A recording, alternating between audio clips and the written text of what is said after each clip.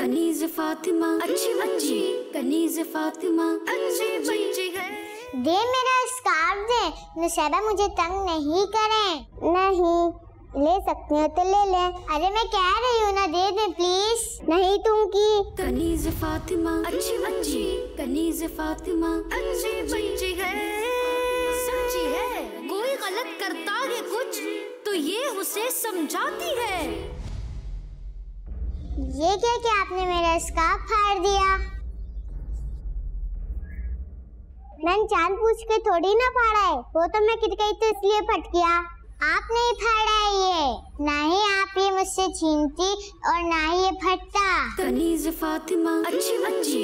कनीज फातिमा। क्या हो गया इकरार? आप ही देखिए ना। नुसैबा ने मेरा फेवरेट स्कार्फ फाड़ दिया। नुसैबा? ये आपने क्या किया? किसी का नुकसान करना कितनी बुरी बात है। हदीस शरीफ में आता है कि जो अल्लाह पाक और कयामत के दिन पर ईमान रखता है, वो अपने पड़ोसी को हरगिज तकलीफ़ ना दे। इसका मतलब ये है कि मुसलमान को तकलीफ़ देने के लिए कोई काम ना करे और इकरा आपकी पड़ोसी नहीं, बल्कि सहेली भी है। फिर भी आपने, अरे आपकी बात तो सुने मेरी। मैंने चार पूछ के थोड़ी ना फाड़ा है जी नहीं, आप ही की वजह से फटा है।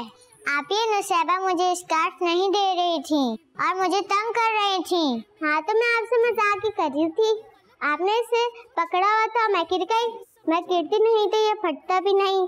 अच्छा वो आप गिर गई। ऐसे नहीं बोलते इकरा एक सच्चा मुसलमान कभी भी किसी का बुरा नहीं चाहता।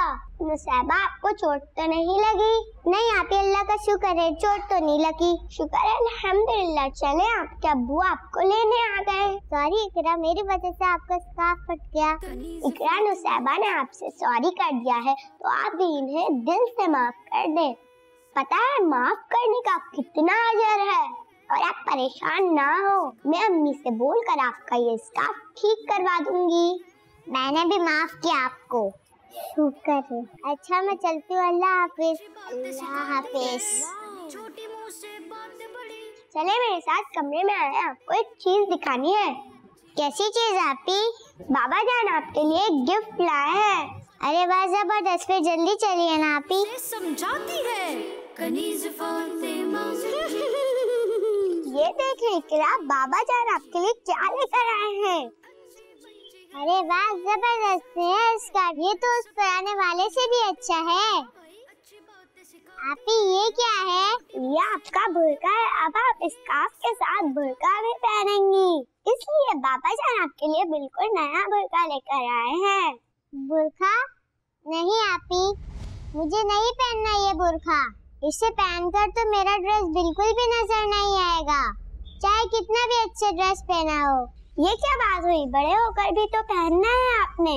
जैसे मम्मा पहनती हैं, और हमें अच्छी चीज़ों की आदत बचपन से ही डालनी चाहिए, ताकि बड़े होकर हमारी आदत पक्की हो जाए। जी नहीं। मैं नहीं पहन रही। अरे किरा बात तो सुने किरा। कनीज फातिमा अच्छी बच्ची। कनीज फातिमा अच्छी बच्ची है। इकरा चले खाना खा ले। आपने मम्मा से मेरी शिकायत की थी ना? नहीं मैंने आपके बारे में मम्मा से कुछ नहीं कहा। जी नहीं आपने मम्मा से मेरी शिकायत की थी इसलिए तो मुझे डांट पड़ी है। किस बात पर डांटा है मम्मा ने?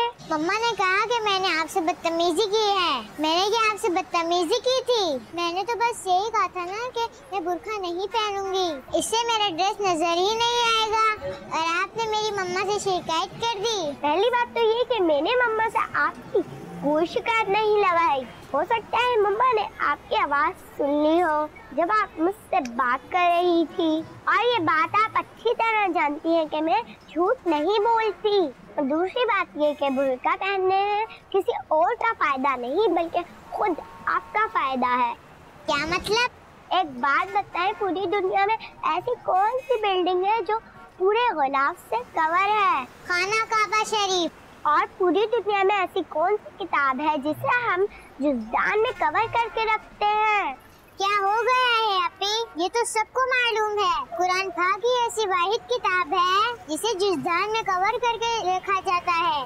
सही कहा आपने, ये बात तो सबको मालूम है, लेकिन ये बताएँ कि ऐसा क्यों है? मेरे ख्याल से खाना काबा को इसलिए गिलाफ से कवर किया जाता है कि, क्योंकि बाकी तमाम बिल्डिंग्स में सबसे ज़्यादा इज़्ज़त वाली है। यही बताने के लिए इस पर गिलाफ चढ़ाया जाता है। और कुरान पाक को जुजदान में रखने की भी शायद यही वजह है। बिल्कुल सही। जैसे पूरे दुनिया में खाने काबा इज़्ज़त वाली जगह है। इसी तरह कुरान पाक दुनिया की तमाम किताबों में से सबसे ज़्यादा इज़्ज़त वाली किताब है। इस बात को ज़ाहिर करने के लिए मुसलमान इन्हें कवर करते हैं। ठीक इसी तरह एक मुसलमान औरत दुनिया की तमाम औरतों में से सबसे ज़्यादा इज़्ज़त वाली औरत होती है।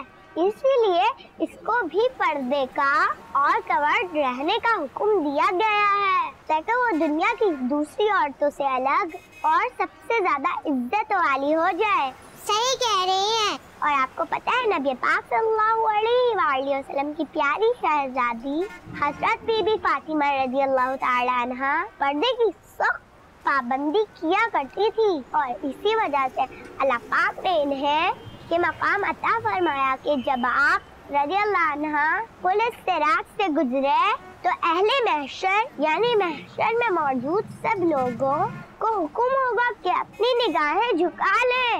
सुबहान अल्लाह ये इज़्ज़त और एहतराम इन्हें इसी पर्दे की वजह से मिला अब रही बात आपके ड्रेस की तो आपसे किसने कहा कि आप ये भुलका हर वक्त पहनी रहेंगी? घर में ही अपनी किसी सहेली के साथ आपको ये भुरका पहनने की ज़रूरत थोड़ी है। बाबा जान बड़े प्यार से आपके लिए वो भुरका लाए थे लेकिन कोई बात नहीं। अगर आपने नहीं पहनना तो मैं बाबा जान से कह देती हूँ। वो इसे चेंज करवा के मेरे लिए एक नया भुरका लिया है क्योंकि मुझे तो भुरके बहुत पसंद है। जी नहीं वो बुरखा बाबा जान सिर्फ़ मेरे लिए लाए और वो बुरखा मैं ही पहनूँगी।